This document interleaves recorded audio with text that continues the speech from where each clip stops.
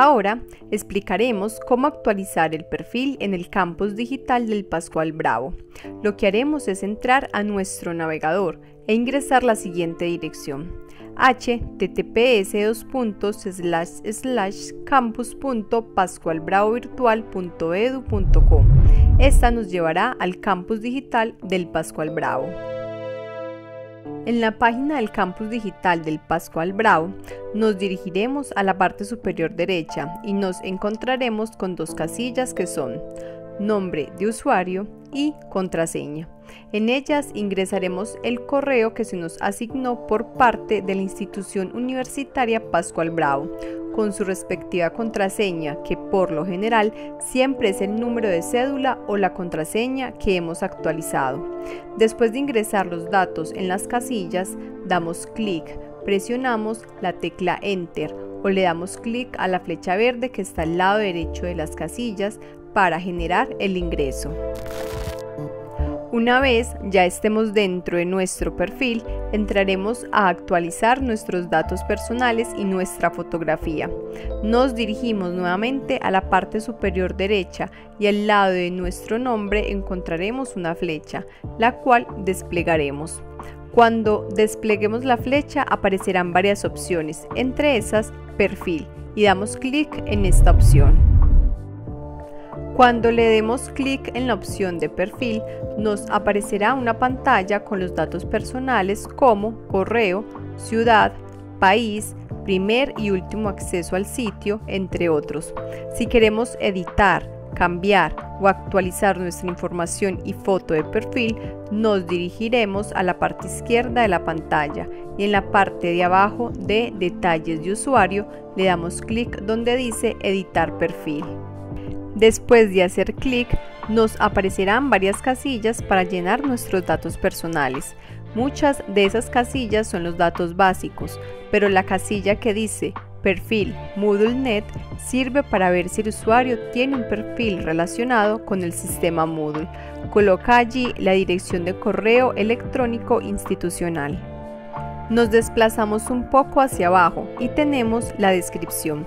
Aquí puedes agregar algo sobre su personalidad, hobbies, entre otras cosas.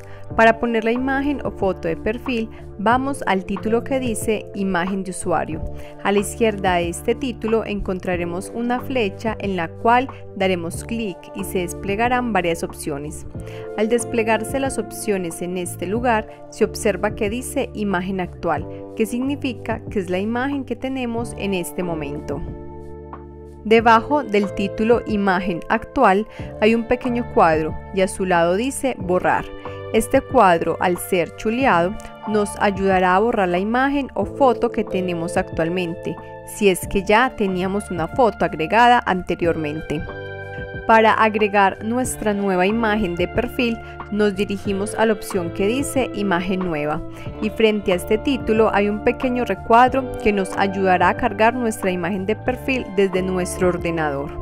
Una vez ubicados en el pequeño recuadro, nos dirigiremos a la parte superior izquierda de este, donde aparece un icono de una hoja de papel. Le daremos clic en ese icono.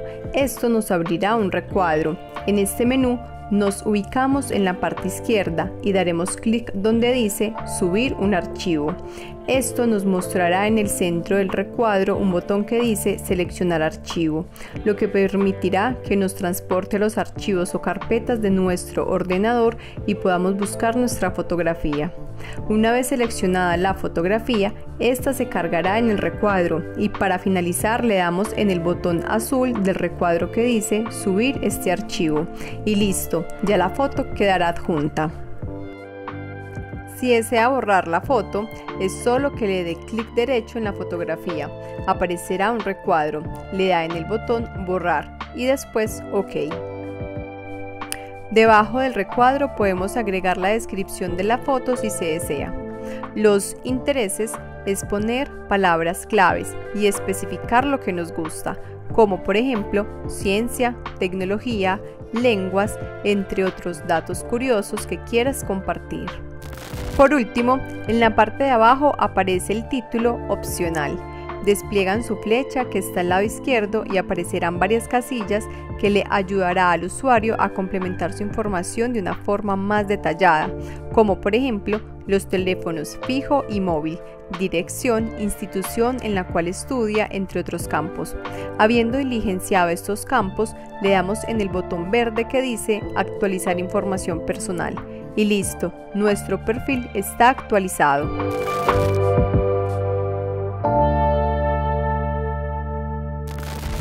Tradición, transformación, innovación.